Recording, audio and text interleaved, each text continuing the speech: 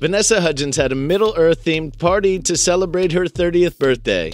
The high school musical star threw a theme bash to mark her milestone birthday and couldn't wait to tell her fans how magical the whole night was. Sharing a picture from the party, she wrote, had the most magical birthday party. Very thankful for everyone who made it happen. At Brian Gov, at Chad Woodhair, at Shaviv Hair. Guests sat on pillows next to a long table which was decorated with candles as they were served their food. There was also a medieval looking tent which was filled with chairs and lanterns as well as a velvet couch.